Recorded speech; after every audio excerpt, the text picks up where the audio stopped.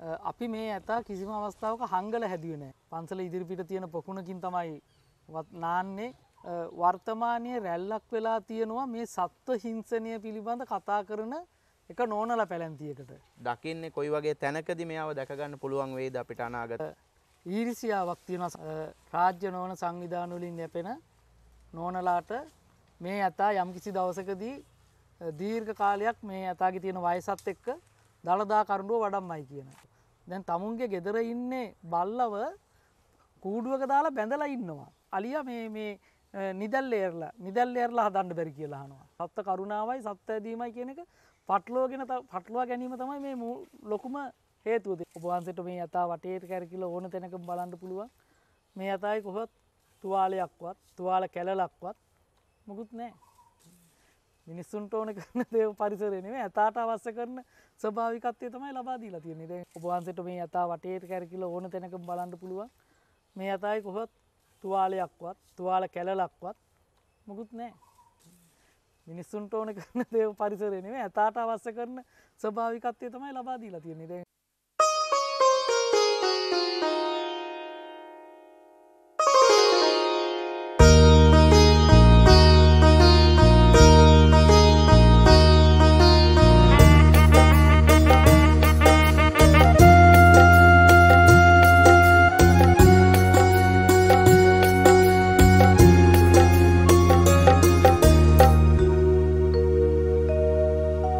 ශ්‍රී ලාංකේය බෞද්ධයන්ගේ අභිමානය හෙළදීප ටීවී සැමට හිත සුව පිණිස.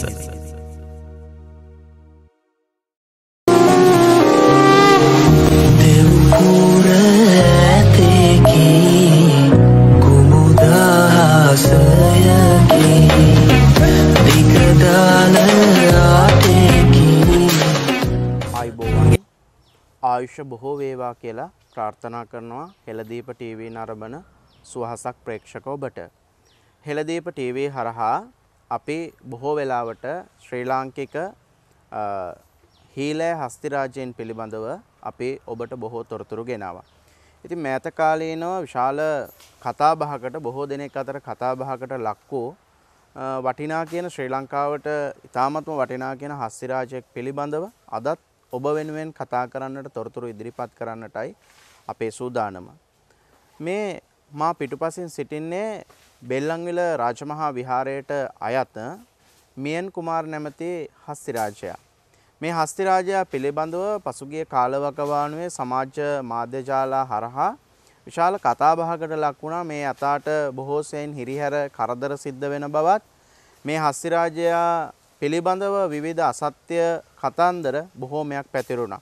ඉතින් ඒ නිසා අපිට බොහෝ දෙනෙක් යෝජනා කළා අපේ ස්වාමීන් වහන්සේ මේ හස්තිරාජයා පිළිබඳවත් තොරතුරු කතා කරන්න කියලා.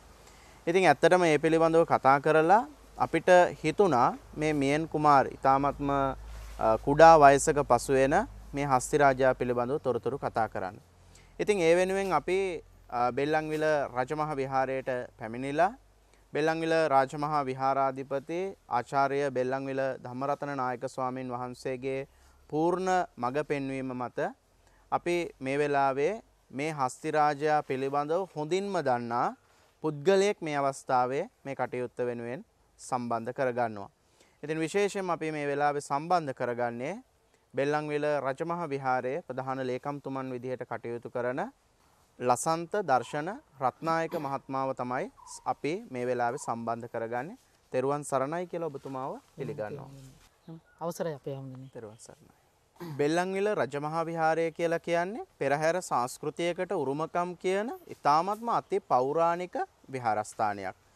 මේ විහාරස්ථානයේ ගෞරවනීය නායක ස්වාමින් වහන්සේලා අතීතය පටන් මේ දක්වා වැඩ හිටපු ස්වාමින් වහන්සේලා මේ පෙරහැර සංස්කෘතියත් එක්ක ඉතාමත්ම ළඟින් සම්බන්ධ වෙමින් හීලය අලියතුන් බොහෝ ප්‍රමාණයක් බෙල්ලන්විල රජමහා විහාරයේ කේන්ද්‍ර කරගෙන ඉඳලා තියෙනවා.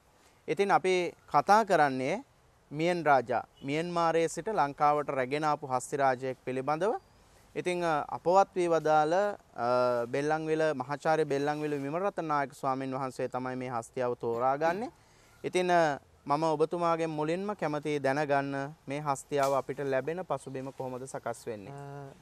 ඇත්තටම අපේ පන්සලේ හිටපු ඇත්තා අනපේක්ෂිත ලෙස මිය ගියා.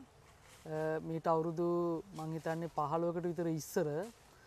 ඒ අවස්ථාවෙන් පස්සේ ඒත් පෙරහැරකට සභාගිද්දි පිටදී ඒ අවස්ථාවෙන් පස්සේ අපි ඇතෙක් සොයමින් හිටිය සෑහෙන කාලයක්. පැවති රජයන් බොහෝ රජයන් වලින් ඉල්ලීම් කරා. නමුත් ඇතෙක් නොලබුණා. අපිට හරියන විදිහේ. පසු කාලීනව අපේ මහචාර විමරතන හාමුදුරුවෝ දේශනයකට මියන්මාරයට වැඩපු වෙලාවක එහෙ ඉන්න අලි ඇත් පන්තියක් දැකලා අහල තියෙන මේ අපිට මේ මේ ඇත් පැටිය ගණ්ඩ පුළුවන් ක්‍රමයක් තියෙනද කියලා.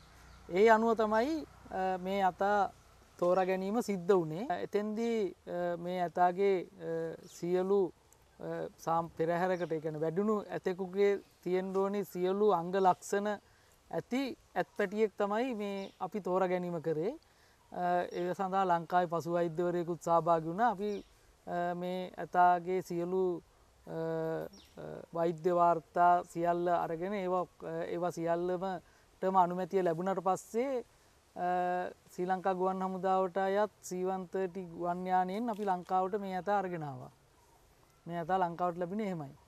මේ ඇතා ලංකාවට ලැබෙන පරිසරය සහ ඊට පස්සේ මේ ඇතාවග පිළිබඳව කටයුතු කොහොමද සිද්ධ වනේ ඊට පස්සේ දිගට ඇතටම අපි අරගෙනනකොට මේ ඇතා ගොඩක් කුඩා ඇත් පැටියෙක් අවුරුදු පහක විතර ඇත් පැටියෙක් අපි අරගෙනාවේ ප්ලේන් එක පැය පහමාර්ග විතර ගමනකින් ලංකාවට පැමිණිලා ඉට පස්සේ මේ වෙනකං සුරක්ෂිතව විහාරස්ථානය ඇති දැඩියනවා දැන් මේ වෙනකොට අවුරුදු දා හතරක විතර නවයොවුන් වියට පැමිණිච්ච ඇතෙක් දැම්මූ ඇත් පැටියෙක් නෙවේ ඇත්තනම පසුගිය සමයේ මද කාලය සම්පූර්ණ කරා තුන්ගනි වතාවටත් මද කිපිලා මේ වර්සයේ හිසතෙල් ගෑමත් එක්ක තමයි ඒක කාලය මද සමය අවසන් කරේ දැන්ව කට්ටිට පේනු ඇති දැන් ඇතා බොහොම සුවසේති මේ විදියට ඉන්නවයිදී.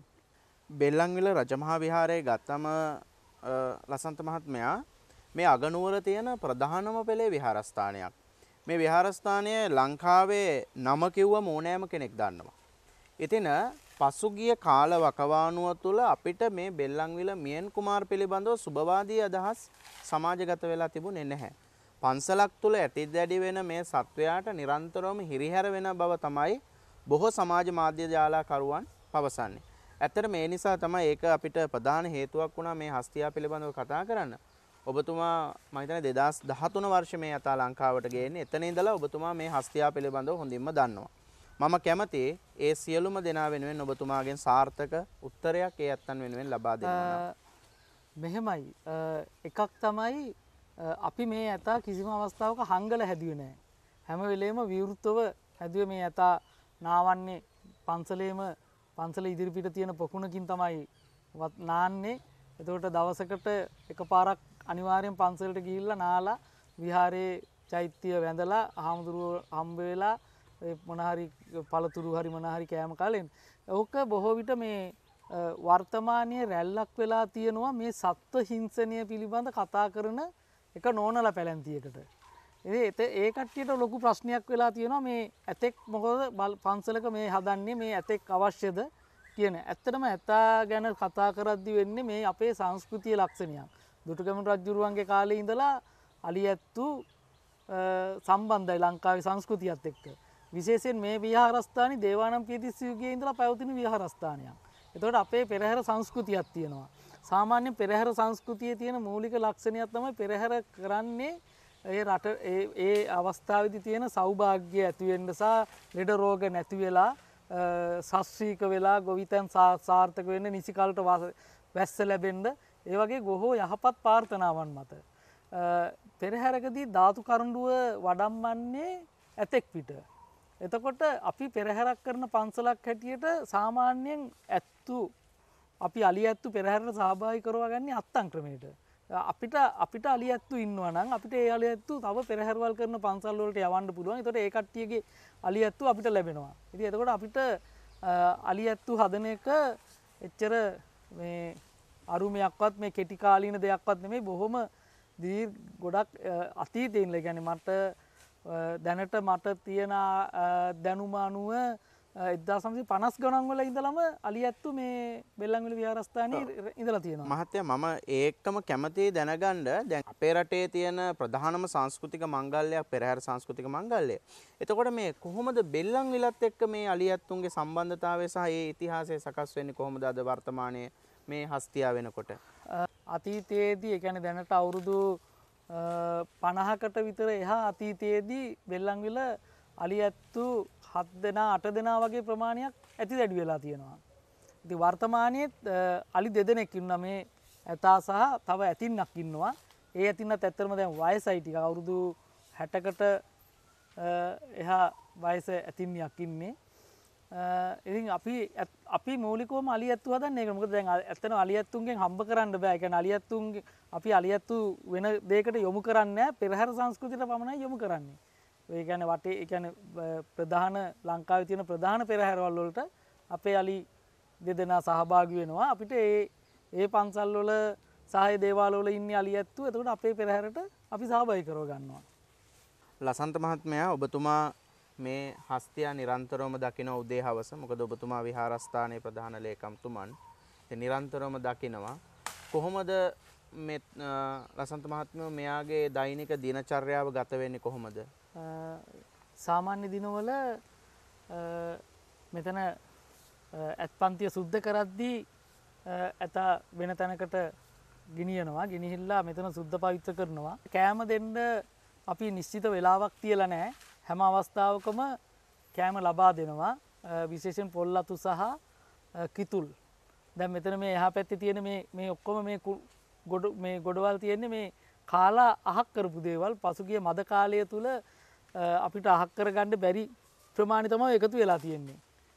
එච්චර ප්‍රමාණයක් මේ මුට කෑම දෙනවා. ඇති ඒක පේනු ඔබතුමල්ලටත් මේ මේ ඇතාගේ වයසත් එක්ක. මෙහෙම සද්ධන්ත විදියට හැදිලා තියෙන්නේ ඇතරම නිසි පෝෂණය නිසිකල්ට ලැබෙන හින්දා. ඊට අමතුරුව ඩොක්ට ජගත් ජයසයකර කියන පසු වෛද්‍යතුමන් නිරන්තරයෙන් මේ අතාගේ වෛද්‍යවරය හැටියට කටයුතු කරනවා. බොහොම පලපුරුද්ධ තියෙන ජාතික සත්වෝද්‍යානීදලා අහක් වෙච්ච වෛද්‍යවරයෙක්. ඒවගේම ලංකාවින්නේ ජේෂ්ඨතම පසු වෛද්‍යවරයෙක් වෙන ඩොක්ට කොඩිකාර. මේ අතා ගැන වෛද්‍ය මේ කටයුතු සිද්ධ කරනවා. ඊට අමතරුව නිරන්තරයෙන්ම පේරාදනය විශ්වවිද්‍යාලයේ මහාචාර්ය දංගොල්ල අසෝක දංගොල්ල මැතිතුමා කොළඹට ආවොත් මේ ඇතා ගැන හොයල බලනවා මේ ඇතාගේ වෛද්‍ය කටයුතු මේ පෝෂණය ශරීර සෞඛ්‍ය පිළිබඳ කටයුතු කරනවා. මම හැම වෙලාම වගේ මතක් කරනවා වගේ බෙල්ලංගල රජමහ විහාරයට එදා අතීතය ඉඳලා හස්තියෙන් ඉඳලා තියෙනවා. අපේ ලසන්ත මහත්මයෝ මේ හස්තියා මේ වෙනකොට ඉතාමත්ම කුඩා වයසක අවුරුදු පහලෝක දාසයක වගේ පුංචි පැටියෙක්නේ. එතකොට මෙයාගෙන් පෙරහැර සඳහා ලබා දෙන දායකත්වය කොහොමද? දැනට පෙරහැරෝට සහභාගයනවා අපේ ඒකන දැන් පසුගේ කොරෝණ කාලේ නම් පෙරහැරක් අපිට හරියට කරන්න බැරි වුණා. නවත් ඊට කලින් කරපු පෙරහැරවල් කීපේම ඒ අවුරුදු ටිකේ අපේ බෙල්ලංගල පෙරහැරට අමතරව ගංගාරාමය කෝට්ටේ වගේම නුවර පෙරහැරවලටත් සභාග වෙලා තියෙනවා. කරඩුවක් දේවල් කරඩුවක් වඩම්මල තියෙනවා. දැන් පසුගේ කාලෙත් අපි පෙරහර චාරිත්‍ර ටික කරා කොරෝන තිබ්බත් ඒ පෙරහැර චාරිත්‍රෝලට අපේ මේ මියන් කුමාරයි මැනික ඇතින්නයි දෙන්නම මේ ඒවලට සහභාගි වුණා. බොහෝ දෙනෙක් මේක එක පැත්තකින් හිංසාවක් විදිහට දකිනවා. තවත් පැත්තකින් අපේ රටේ සංස්කෘතියේ ප්‍රධානම ලක්ෂණයකට පරිහරක තියෙන ඇතෙක්ගේ පිට කරඩුවක් වඩම්මනකොට ඒ තියෙන තේජස වෙන කොහෙමත් හම්බ වෙන්නේ නෑ. දැකුම් කළු ස්වභාවයක්. අපේ ලසන්ත මහත්මයා මෙයාගෙන් අපි අනාගතයේ කොයි වගේ විදිහකටද අපි මෙයාව දකින්නේ කොයි වගේ තැනකද මෙයාව දැකගන්න පුළුවන් වේද අපිට අනාගතය ඇත්තටම අපේ හාමුදුරනේ මෙතන ඊරිසියාවක් තියෙන සමහර විට. ඔය රාජ්‍ය නෝන සංවිධානවලින් යැපෙන නෝනලාට මේ ඇතා යම්කිසි දවසකදී දීර්ඝ කාලයක් මේ ඇතාගේ තියෙන වයසත් එක්ක දළදා කරුඩුව වඩම්මයි කියන. ඒගාවට කාරණාව තමයි මේ පටලෝගෙන තියෙනවා හැමෝම සත්ව කරුණාව සහ සත්තු සෑදීම පිළිබඳව. දැන් තමුන්ගේ ගෙදර ඉන්නේ බල්ලව කූඩුවක දාලා බැඳලා ඉන්නවා. අපිට ඇවිල්ල කියනවා ඇයි අලියගේ අලිය මේ මේ නිදල් ඒරලා නිදල් ඒරලා හදන්න බැරි කියලාහනවා තමුන්ගේ ගෙදර ඉන්න බල්ල කූඩුවක දාලා බැඳලා ඉන්නමකද ඒ ඒ ගැන තමුන්ට සුවරණය ගෙදරට කවරුවර කෙනෙක්කවත් බල්ල හපයි කියලා. ඉති මේ මිනිස්සුත් එක්ක හැසිරිලා පන්සලක එකන වන්දනාමාන කටයුතුවලට සහභගල පසුගිය කාලය තුළ දැක්ක රූපානි මාධ්‍යවලිනුත් මේ ඇතා ඇවිල්ලා බුදුන් වඳිනේවා ඒ වගේම මේ විහාරස්ථානී හැසිරෙන දේවල්. ඉතින් ඒවත් එක්ක මේ ලොකු ඊරිසියාවක්. සමට මේ සත්ව හැදීම එකන සත්තු හැදීම මඟර කලින් කිව එකයි. සත්ත කරුණාවයි සත්ත ඇදීමයි කියන එක පටලෝගෙන පටලවා ගැනීම තමයි මේ ලොකුම හේතුවද නීගාවට අසත්‍ය ප්‍රචාර අපි හැමෝම කැමති හොඳ හොඳ කියන්නනේ නර්ග කියන්න. එක මොනහරි දෙයක් නැතිවෙන එක තමයි කැමති. ඒ වගේ දැම් මේ හැමෝම බලන්න මේ මේක මේ මේ සංස්කෘතියට මේ ඇත්තු ඕන්නෑ අලි ඇත්තු ඕන්නෑ කියන දේ දැන් පෙරහැරක මඟර කලින් කිව වගේ මට සමාවෙන්ට අපේ හමුදන මේ පෙරහැරක මූලිකම දේ තමයි ඔය හේවිසි හොරනෑ ගහලා කස පුපුරෝලා පෙරහැරක් යනකොට මේ වැස්ස සංකේතුවත් කරන්නේ. එතකොට ඒ වැස්ස තියෙන ගණ කළු වලාකුළු සංකේතුවත් කරන්න අලි ඇත්තුන්ගේ.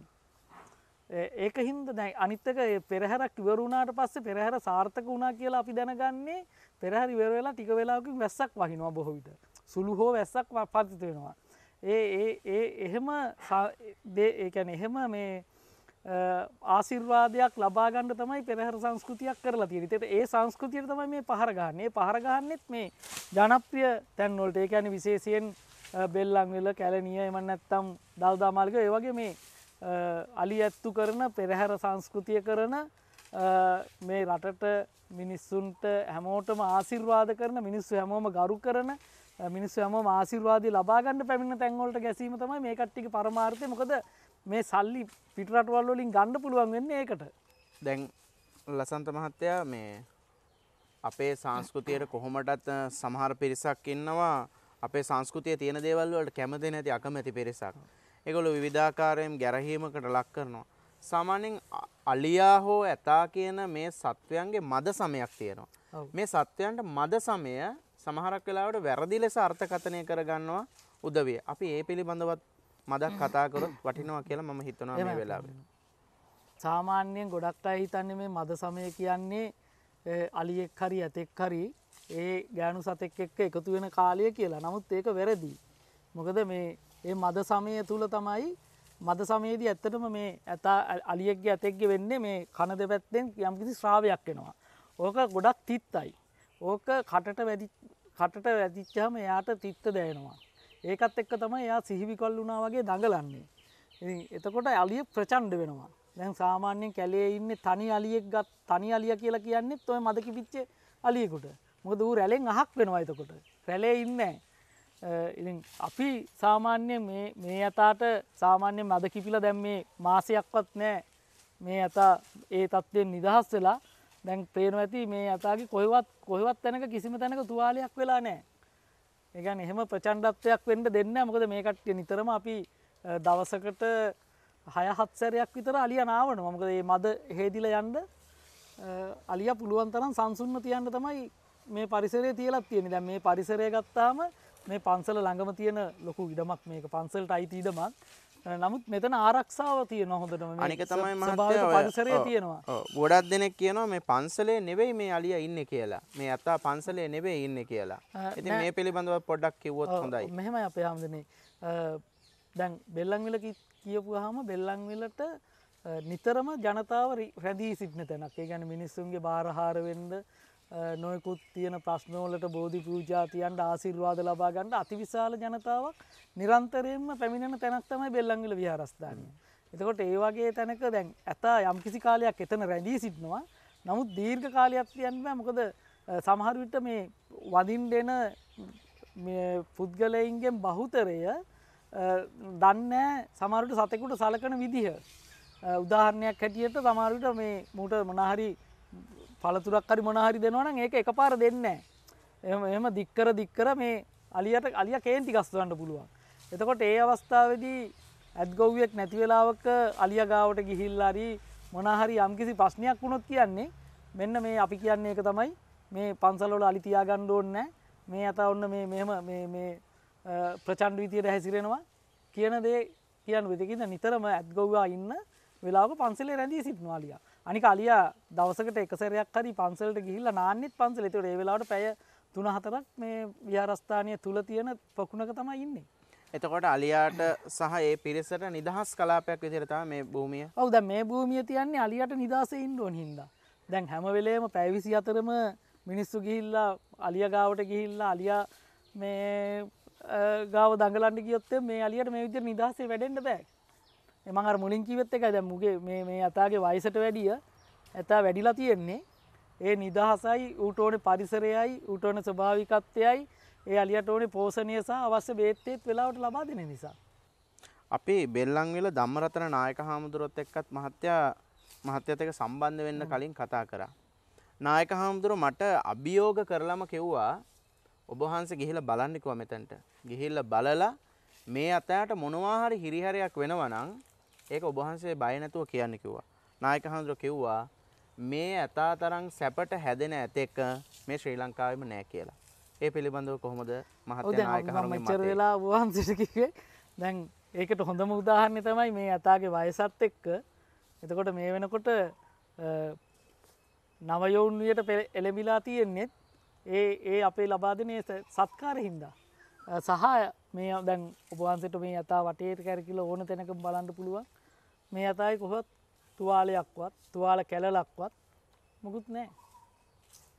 මේ සාමාන්‍යයෙන් ඇත්- ඕනම අලියෙක් මද කිපිලා ඉන්නකොට ඌ ප්‍රචණ්ඩ වෙන ප්‍රචණ්ඩ වුනාම මේ කකුල් තුවාල කරගන්න එම නැත්තම් වෙන මොන හරි දෙයක් කරගන්න පුළුවන්. ඉතින් එහෙම දෙයක් මේ අතා වෙලා නැහැ. මොකද එහෙම ප්‍රචණ්ඩ වෙන්න වෙන්න තියෙන ඉඩකඩ පුළුවන් තරම් අඩුක අඩු වෙන විදිහට ඇතාට අවශ්‍ය පරිසරය තමයි අපි ලබා දීලා තියෙන්නේ. මිනිස්සුන්ට ඕන කරන දේ පරිසරය නෙමෙයි ඇතාට අවශ්‍ය කරන ස්වභාවිකත්වය තමයි ලබා දීලා තියෙන්නේ. දැන් ඒක බෝවන්සිට උනත් පේනවා. ඇති මෙතෙන්ට ආවට පස්සේ මේ මේ වගේ ජනාකීර්ණ තැනක මේ වගේ පරිසරයක් කොහොමද අපි තියාගෙන ඉන්නේ කියලා. හොඳයි. අපේ බෙල්ලංවිල ධම්මරතන නායක ස්වාමීන් වහන්සේ සමගත් කතා කළා. ඊට පස්සේ අපේ අ, මේ මියන් කුමාර් පිළිබඳව කතා කරේ විහාරස්ථානයේ දායක ස්වභාවයේ ලේකම් අපේ ලසන්ත මහත්මත් එක්ක. මං අවසාන වශයෙන් දැනගන්න කැමති මහත්තයා. නායක හමුදුරොත් මට බොහෝ වෙලාවට කිව්වා මේ පේස්බුක් එකකින් බලන පින්තූරයකින් කොහේ හරි තියෙන පින්තූරයක් බලලා මෙයාව මනින්න එපා. ඇවිල්ල මෙතැන්ට ඇවිල්ල හරියට ඒක බලලා ඒ පිළිබඳව විචාරය කරන්න කියලා. අපේ ලසන්ත මහත්ය මං අවසාන වශයෙන් ඔබතුමාගෙන් කැමති දැනගන්න. මේ ඇතා පිළිබඳව මේ සමාජය යන විවිධ අසත්‍ය ප්‍රකාරයන් වෙනුවෙන් ඔබතුමා අවසාන වශයෙන් අපේ බලන ප්‍රේක්ෂකයන්ට සහ ජනතාවට මොකක්ද අවසාන වශයෙන් මතක් කරන්න තියෙන්නේ. නෑ ඒක තමයි දැන් මම මුලදිම කීවෙත් මේ මේ තියෙන මිනිස්සුන්ගේ තියෙන මේ කුහක මානසිකත්වය පිළිබඳව. අනිත් එක මේ සමාජ මාධ්‍ය විශේෂයෙන් Facebook වල කිසිම සෙවිල්ලක් බැලිල්ලක් නැතුව තමුන් දකින දකින දේ ෂෙයා කිරීම. ඒ ගැන ඒක ඇත්ත නැත්ත හොයන්න නැතුව තමුන් දකින දේ හරි කියලා හිතාගෙන ෂෙයා කිරීම. විශේෂයෙන් ඔය අ, මෙහෙ දැන් වර්තමානයේ පැලැන්තියක් බිහි වෙලා තියෙන ඇත්තට හමුදුනේ මට සමාවෙන්න ඕනේ මෙහෙම කියනවට අ, තමුන්ගේ මහත්තයට බල්ලා කියලා බල්ලට ඩාලින් කියන පැලැන්තියක් බිහි වෙලා තියෙනවා. දරුවෝ ඉස්කෝල්ට ගියාට පස්සේ අර මහත්තය හම්බ කරලා දීලා තියෙන සල්ලි වලින් ගෙදරට වෙලා කාලා කරන්නේ උදේ පවස මේකේ උඩට පල්ලෙහාට යන එක තමයි කරන්නේ. ඉතින් ඔය නෝනලා කරන්නේ මේක දැක්ක ගමන් අපේ මේ මේ සත්තුන්ට මේම හිරියර වෙනවා මෙහෙමයි කියලා කිසිම සෙවිල්ලක් බැලිල්ලක් නැතුව ඕක ෂෙයා කරන එක. ඉතින් එහෙම කිරීමේ නිසා තමයි පහුගිය කාලේ මේ මිත්‍යාව සහ බොරුව අ, ව්‍යාප්ත වුණේ බොරුව සත්‍යය කරන්න උත්සාහ කරේ. ඉතින් නමුත් මේ පසුක පසුකිය කාලයේ සහ දැන් අද වුණත් දැන් ඔබ වහන්සේට උනත් තේරෙනවා ඇති ඒ කියපු දේවල් කොච්චර අසත්‍යයක්ද කොච්චර බොරුද කියන එක. ඒකින්ද ඕන කෙනෙකුට පුළුවන් ඇවිල්ලා බලන්න. හැබැයි ඉතින් අපිට අපිට හිරියරයක් නොවන විදියට සතට නෙමෙයි අපිටත් සමහරට හිරියරයක් වෙනවා හැමදෙන්නේ මේ නිතරම මේ කතා කරලා. කතා කරලා ඔව්. කිව්වා එහෙම නෙමෙයි අපි ඕන කෙනෙකුට අපේ ඇත්ගොව්වෝ පැඳී සිටින වෙලාවක අපෙන් ඉල්ලීමක් කරොත් ඕන කෙනෙකුට අපි ඇතා පෙන්වන්න එක් කරගෙන එන්න පුළුවන් ඇතා බලන්න පුළුවන් සහ ඇතා පන්සලට එන වෙලාවක අපි මේ මේ කවුරුවත් දාලා මිනිස්සු අහක් කරලා මුකුත් කරලා මේ අර ජනතාව නැති මුක්ත කලාපයක් කරලා ඇතා එක්ක එන්නේ නැහැ. මිනිස්සු ඉන්න තැනම තමයි ගිහිල්ලා නාන්නේ. එතකොට ඒ වෙලාවටත් විහාරස්ථානයේ අනිවාර්යෙන් අ, දවල් 11 ඉඳලා හවස 3 විතර වෙනකන් ඇතා නාන්න පන්සල් ආ, එන දවසට ඒ වගේ කාලය තුල රැඳී සිටිනවා. එතකොට ඕන කෙනෙකුට ඇවිල්ලා බලන්න පුළුවන්. ඔබ දකින හැම දෙයක්ම පිටිපස්සේ තියෙනවා මොනවා හරි සත්‍ය කතාවක්. ඒ සත්‍ය කතාව එකපාරම් ෆොටෝ එකක් දැක්කට පස්සේ මොනවා හරි දෙයක් දැක්කට පස්සේ අපිට ਵਿਚාර ලියන්න බෑ. අපි ඒකේ සත්‍ය දකින්න ඕනි. බුදුරජාණන් වහන්සේ පවා කියලා තියෙන්නේ ඇවිත් දකින්න. දැකලා ඔබ ඔබේ අදහස් ඉදිරිපත් කරන්න. බුදුහාමුදුර ගාවට ඇවිල්ලා පැහැදිච්ච ගොඩක් දෙනකොට බුදුහාමුදුරනේ මට මහාන වෙන්න ඕනි කිව්වම බුදුහාමුදුර හැම වෙලාවෙම කිව්වේ ඔබ ඇවිල්ලා මේක දැකලා ඉවර වෙලා මේක හරියාකාරව අවබෝධ කරගෙන ඔබ මේකට ඇතුල් වෙන්න කියලා. ඒ නිසා මියන් කුමාර් කියන්නේ අවුරුදු 14ක විතර 14ක විතර වගේ නව යොවුන් වියේ පසු වෙන අ, පුංචි ඇත්පැටවෙක්. නමුත් බැලූ බැල්මටම පුංචි කියන්න බෑ.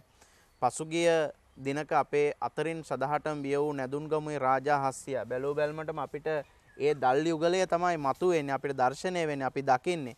ඉතින් අනාගතයේ මේ හස්තියා අපේ රටට වටිනා කියන සම්පතක් බවට පත්වේ. ඒ නිසා අනවශ්‍ය ලෙස මඩ ගහන්නේ නැතුව බොරු ප්‍රචාරණ කරන්නේ නැතුව ඔබත් ඇවිල්ලා මේ බෙල්ලන්විල රජමහ විහාරයේ එකම්තුමා අපිත් එක්ක කතා කරේ. ඒ අදාළ නිලධාරීන් ඉන්නවා. ඒගොල්ලොත් එක්ක කතා කරලා ඇත් ගොව්වෝ ඉන්නවා. ඒගොල්ලොත් එක්ක කතා කරලා මේ යථාගේ ඇත්තටම සත්‍ය තොරතුරු ඔබට දැනගන්න පුළුවන්. ඔබට මේ සත්‍ය තොරතුරු කියන්න තමයි අපි මේ කාලය කැප කරේ. ඒ නිසා ඔබ අපේ බොහෝ ප්‍රේක්ෂකයෝ අපෙන් ඉල්ලපු කාරණාවක් තමයි ස්වාමීන් වහන්සේ මියන් කුමාර් ගැන කතා කරන්න කියලා. ඒ නිසා මේ සත්‍ය තොරතුරු ඔබ සමීප කරන්න තමයි අපි මේ වෙලාවේ සම්බන්ධ වුණේ.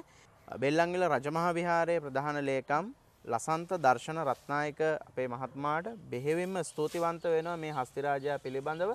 අපිට විතරක් නෙවෙයි මුළු මහත් සමාජයටම මේ තොරතුරු අ, බෙදා හරින්නට අපිත් එක්ක එකතු වීම පිළිබඳව ඔබතුමාට තුනුරුවන්ගේ ආශිර්වාදය ප්‍රාර්ථනා කරමින් අපි මේ වැඩසටහනේ අදට අපි ඔබෙන් සමුගන්නවා අප පිටුපසින් මේ සිටින්නේ දෙදස් දහතුන වර්ෂයේ මියන්මාර රජය හරා පරිත්‍යාගයක් විදිහට අපිට ලැබෙන මියන් කුමාර් කුඩා හස්තිරාජයා.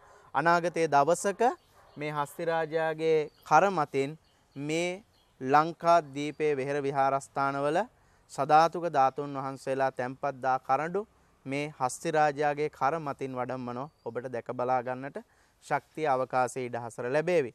ඇත් රජුටත් දීර්ඝායුෂ නිදුක් නිරෝගී සම්පන්නිය ලැබේවා කියන ප්‍රාර්ථනාවෙන් අදට අපි ඔබෙන් සමුගන්නවා. ඔබ හැමට සම්මා සම්බුදු සරණයි. ඔබ වහන්සේටත් නිරෝගී. තෙරුවන් සරණයි.